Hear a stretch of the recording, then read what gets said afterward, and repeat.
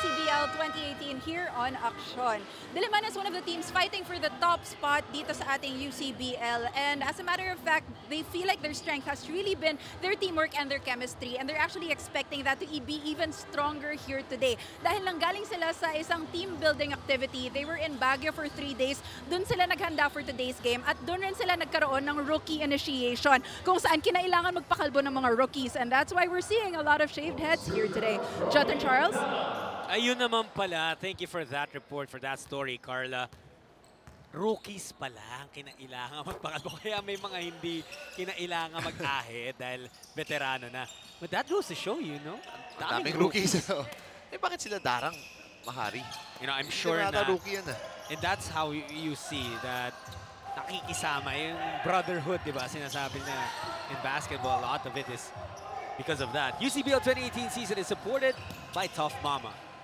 Enriquez, bumitaw mula sa labas. No good. Lisica underneath. Draws the foul, magkakaroon ng dalawang free throw. Ano kaya sabi nila nung si Coach Renzi? Hindi kaya na nila kinonvince, sinubukan i-convince si Coach Renzi sumabay sa kanila. Hindi ba dati nung naglalaro si Coach Renzi, may time rin na I remember, siya, yeah, oo. Lisica mintis sa kanyang unang free throw.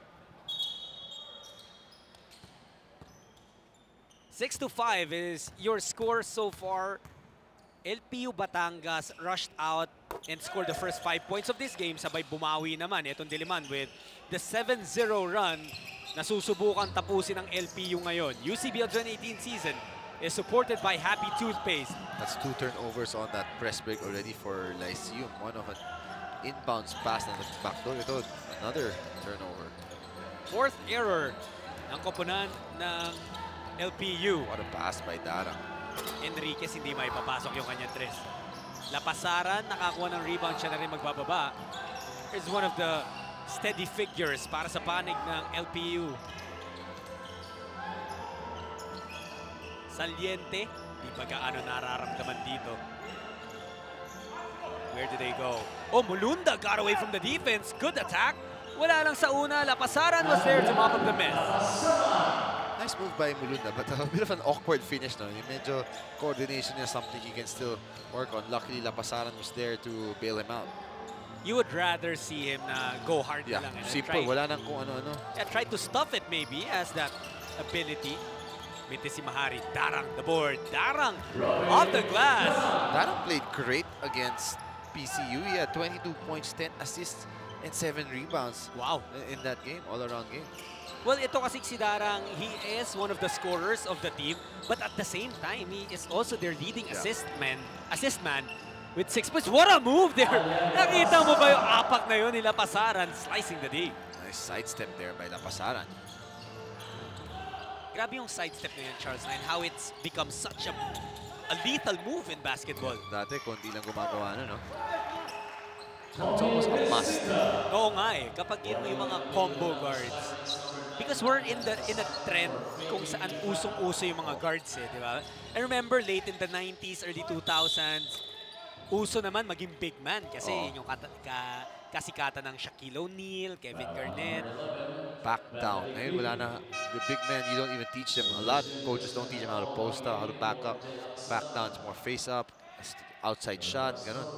That's really how basketball works. I mentioned, nag-evolve talaga yung...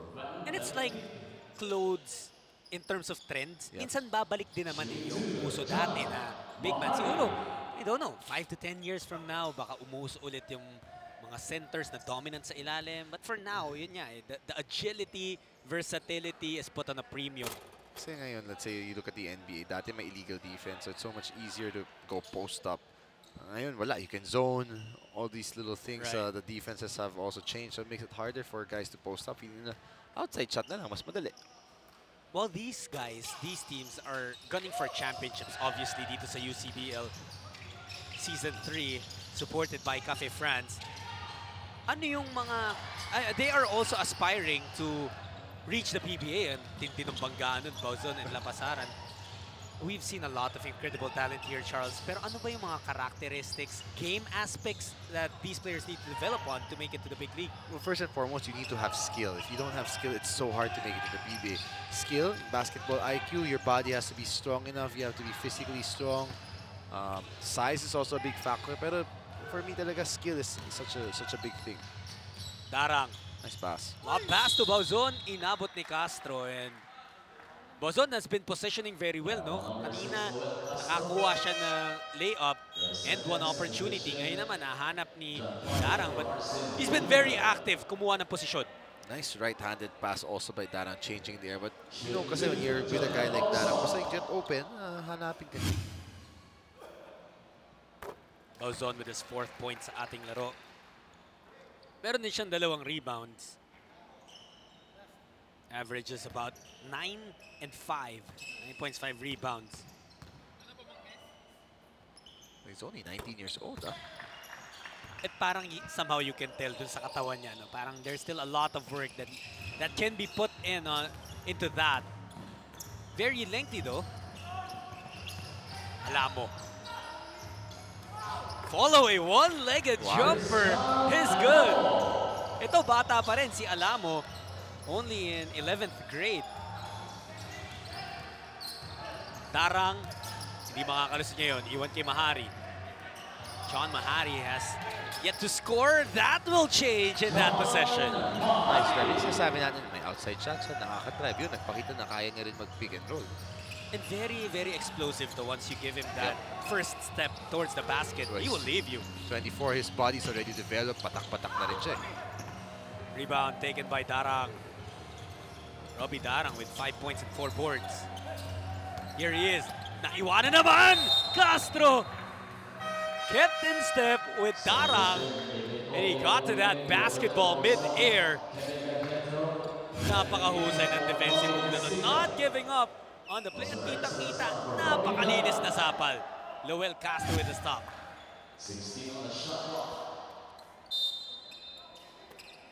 Three and 41 remaining. Enriquez will try another three. He's been missing. Wala pa rin makukuha doon. UCBL 2018 season is supported by Adlight. Charles, another turnover para sa LPU. That's gonna be the death of them if they keep turning the ball over. This guy can shoot. Okya Mintes sa kanyang unang tira. Kakapasok lang rin naman. Perhaps kailangan pa magpainit ng konti. But for Kevin Gangetto, kanina pa siya nasa court and had to sit down for a while. Now he's back there and he's doing damage. One more time, there he is. Nakuha yung rebound. Steady lang. Stayed patient, looked for the opening, and when he found it, made sure he got points out of it. Turn, let's bring in Carla into this conversation. Si Kevin Gangetto and Tommy Lasica, they both come from countries where soccer is the main sport and that was actually what they used to play. Coming to the Philippines, na-amaze daw talaga sila sa popularity ng basketball dito sa Pilipinas. Sabi ni Coach Renzi Baharna, these two still have a lot to learn but they're so coachable and passionate and it's that great attitude that helps the team a lot. Back to you guys. Thanks for that, Carla. And that's what you want, Charles. I, I know you've handled some imports before. May mga iba dadating dito expecting to dominate the scene and not listen to coaches. Oo, pero a lot of them really, totoo yung sinabi ni Carla, a lot of them come from countries na football talaga or soccer yung main sport. They come here, it's a learning process. Yung iba, minsan two years pa lang nagpa-basketball. Pero because of their size, syempre you want to develop them. And uh, it's nice that they have a, a good attitude and they're, they're willing Yeah. to learn. Bihira lang yung parang Ben Embala na ang galing talaga. I mean, gu- guys like those. Once in a while, you will get them, but know, more or less, a lot of them are developed here. I've also heard stories na ni-recruit because of their strength, their physical abilities. Pero dito na sa Pilipinas, unang humawak ng bola. Oo, may meron rin mga ganun. And minsan nakikita mo talaga eh, parang, "Ah, marunong ba ito mag-basketball? But you give them a few years, hey, they Yeah. can get better. Kasi minsan yung mga yan, nakikilaro pa yan sa mga recreational Oo. basketball, yung mga grupong nag-reserve lang ng court. And then magugulat ka na lang, two years later, makikita mo na sa mga UCBL and Oo. other collegiate leagues. And a lot of credit to the local coaches who give these guys basketball careers. Pearl Salazar nakaagaw. This time, hindi na makakahabol si Noel Castro. And napako na itong LPU Batangas sa 11 points. press ng Diliman. And that's really what they're gonna do. They're gonna keep pressing all game long. Kasi Coach Renzi rotates a lot of players there. A good half-court ball pressure. Although too much pressure there as they commit the foul. The last time that LPU scored was that one-legged fall away mula kay Christian Alamo at the 4 and 26 mark. Since then, it has been another 7 to nothing run deployed by Diliman College. Castro na naman. That pass, diretso palabas. And boy, turnovers are just happening one after another para dito sa panig ng LPU Batangas. And once again, yun naman yung weapon ng Diliman College since in the games that we've seen them dominate opponents, yung pressure defense nila.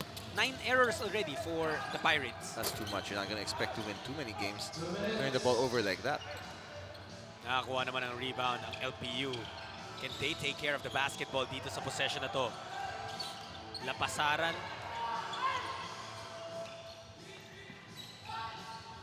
Here's Castro. Bibigay ng pick si Messina. Nice pass muna kay Castro and it is finished by Messina. Castro, a free ball earlier this time. An assist. We also saw a, a block from him. So doing a little bit of everything in si Lowell Castro. So may binubuga pa naman dito ang LPU. Finally, they get a possession where they don't turn the ball over. Instead, they get two points. Baba kalamangan ng Diliman College to seven points. 20 to 13. This timeout is brought to you by Jerry's Grill.